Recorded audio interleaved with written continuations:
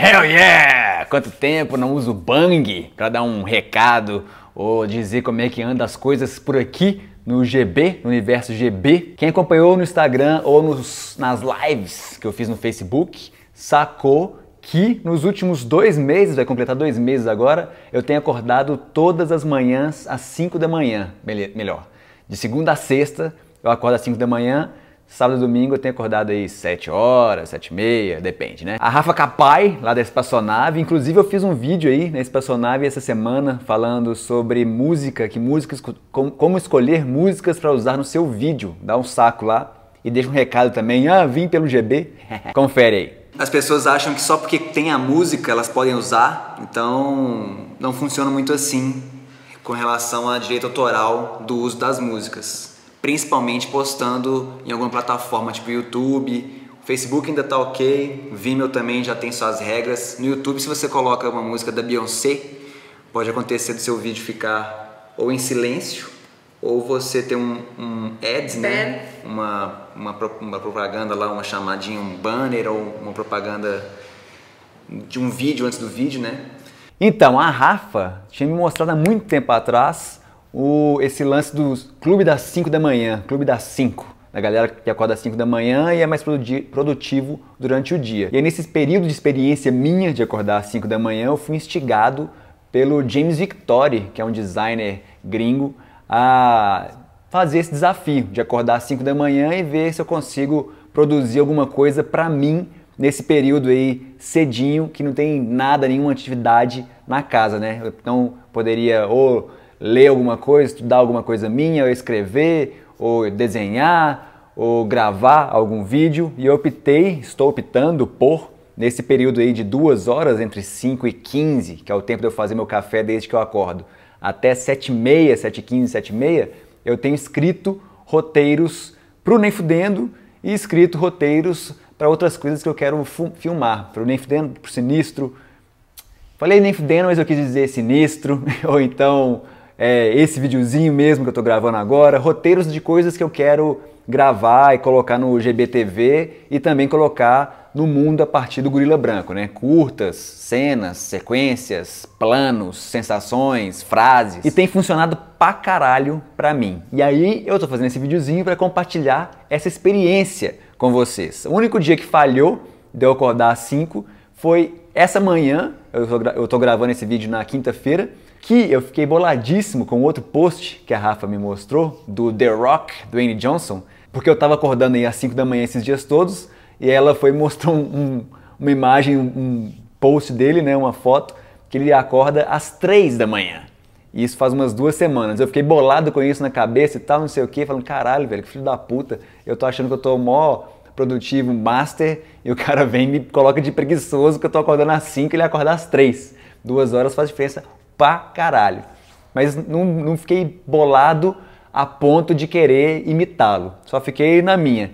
E aí, hoje, como eu vou fazer hoje na quinta que eu tô gravando esse vídeo, tá, vai rolar um bate-papo com a Denise Flores sobre produção para cinema, numa live, né? Depois você pode conferir aí nos vídeos, vai estar tá lá. E aí eu fiquei pensando pra cacete nisso, pensando na newsletter que eu queria mandar para todo mundo, e acordei às 3 e 2 assim, caralho, tem que fazer isso, fazer aquilo e tal, não sei o que, vou dormir. Acordei de novo 3 e 12, aí dormi. Acordei de novo 3 e 22, falei, ah, quer saber? Foda-se, vou descer. Desci, escrevi então essa newsletter, editei um vídeo, justamente o vídeo em que eu estou falando sobre músicas para vídeo, para ir lá no canal da Espaçonave. E aí subi de novo para o meu quarto, fui dormir, dar uma cochilada às 7, 6 e, 6 e pouco, fiquei 3 horas trabalhando. E aí, seis e pouquinho, me deitei de novo, acordei junto com a Rafa, já era sete horas, sete e quinze, sei lá. Desci e voltei a trabalhar em outras edições e agora, meio-dia, eu parei para gravar esse videozinho antes de eu almoçar. Tô falando esse vídeo só para falar, porra, você não faz nada, eu sou fodão, trabalho pra caralho? Não. Eu, é claro que eu tô sacrificando outros horários, né? Depois do almoço eu dou uma cochilada de uma hora, 40 minutos. Eu tenho esse privilégio porque eu trabalho em casa, trabalho com as minhas coisas, né? Não sou um assalariado que bate cartão e tal. Nada contra, mas enfim, eu trabalho com as para mim, né? Trabalho para as minhas coisas e para as coisas da Rafa, da espaçonave, do Gorila e tal. E alguns alguns outros seletos clientes, como o Diogo Granato, Brodaço. E eu tenho também tentado, e é o maior desafio para mim, e dormir mais cedo, que eu gosto de dormir tipo meia-noite e meia, uma hora, meia-noite. E agora eu tô tentando dormir, fiquei o primeiro mês inteiro nesse desafio de 5 da manhã, tentando dormir às 10 e agora já tô conseguindo ir pra cama tipo 9 e meia. Nos últimos dois dias eu fui pra cama às 7 e meia, mas eu tava com muito sono, muito retardado, tipo, os, os dias têm sido bem longos nessa preparação que a gente está fazendo para os conteúdos que vão para o lançamento do Decola que está vindo aí. Fica de olho também de novo lá no canal da Espaçonave, porque todos os vídeos que eu tenho feito a gente tem concentrado a energia lá, colocando mais conteúdo lá do que aqui no GBTV. Mas aqui no Gorila Branco TV, se você está acompanhando nas últimas semanas, aí, duas, três semanas, tem pipocado mais conteúdo. E eu só estou conseguindo fazer, voltar a postar os vídeos aqui no GBTV justamente porque eu estou acordando às 5 da manhã e usando esse bloco aí de duas horas, duas e meia, até a Thay, minha cachorra, acordar também, querer vir brincar e tal e começar a cuidar das tarefas da casa e as tarefas de outros clientes, fazer os vídeos para a espaçonave e tal, só nesse período aí de duas horas, duas horas, duas horas, duas horas e meia, que eu tenho escrito esses roteiros para o sinistro. E estou gravando ele à noite e tal. Tá funcionando pra caralho? Tá. Só estou compartilhando isso, de, de novo, não para dizer que eu sou do caralho, eu sou um preguiçoso, se você não faz isso, mas para estimular duas coisas. Primeiro, mesmo que você não esteja acordando tão cedo, como é que você está usando o tempo que você tem para fazer suas coisas, seus bangs, suas paradas? E como é que você está usando isso? Porque essa minha ideia de usar melhor meu tempo já, já vem me incomodando desde o final do ano passado, que eu estava acordando em 9 e meia, 9 horas e pensando, porra, podia estar tá usando melhor meu tempo, porque eu queria gravar os vídeos do Sinistro, por exemplo, durante a semana, e aí eu tava trabalhando o dia inteiro, ia pra academia e tal, quando eu voltava à noite que eu pensava, porra, agora eu vou escrever um roteiro. Aí eu voltava às 8, 8 e meia, 9 horas da noite, já quebrado assim, fala, putz, agora eu não tô mais na pilha para escrever roteiro, aí ficava assistindo uns vídeos bosta, zapeando o YouTube, ou vendo qualquer outra coisa, assistindo uma série antes de dormir e não escrevi o roteiro. Quando eu flipei isso, ao invés de usar esse tempo à noite, passei a usar o tempo da manhã, e aí trabalhando normal, volto da academia e vou dormir, me funcionou bem. E eu tive esse insight que para mim poderia funcionar trocar, porque na verdade a, a, parte da manhã e a parte da muito da noite, entrando na madrugada, é o período que eu sou mais produtivo. A parte da tarde, o bloco da tarde, depois do almoço até as 5 da tarde, eu sou totalmente imprestável para trabalhar assim. Trabalho muito lentamente, então eu escolho fazer nesse período alguns vídeos, alguns trabalhos que me demandam menos do processo criativo, que eu posso trabalhar, mas se eu viajar um pouco eu posso voltar umas páginas e continuar de onde eu estava. Se eu estivesse escrevendo ia ser mais difícil, se eu estivesse editando um vídeo que precisa mais de minha atenção ia ser mais difícil. Então eu edito, eu faço mais a limpeza de vídeos desse horário da tarde, ou então um tratamento de cor, alguma coisa assim, só finalizo o vídeo porque eu posso fazer isso com uma mais lentamente e uso o momento que eu tenho mais concentração na manhã ou muito à tarde da noite para fazer esse trabalho mais pesado.